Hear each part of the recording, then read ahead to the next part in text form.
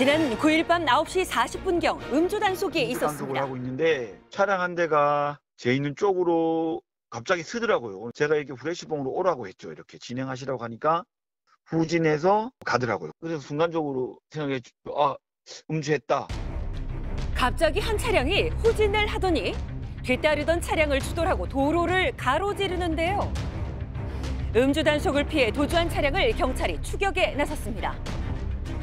추격하면서 신고가 계속 떨어지는 거예요. 자기 차를 치고 갔다. 차선을 넘나들며 위험한 질주를 한 운전자. 다른 차량과 부딪히고도 멈추지 않고 도주하는데요. 위험해 보이죠? 사이렌 울리고 계속 경고 방송을 했는데 무시하고 이제 그 차는 진행을 하더라고요. 마침 그 차량이 적색 신호, 그 정지 신호가 딱 걸렸어요. 그런데 운전자를 검거한 후 밝혀진 충격적인 사실. 3월 21일 날 음주 단속을 했는데 그분이 걸렸어요.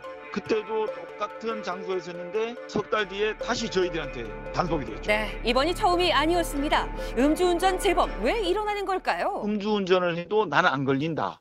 노는 생각 때문에 술을 드시고 운전하는 것 같은데 그는 아니한 생각 때문에 자기가 아닌 또 다른 사람의 생명 신체를 해를 가하기 때문에 이런 부분은 우리 음주운전하는 분들이 좀 많이 생각했으면 좋겠습니다.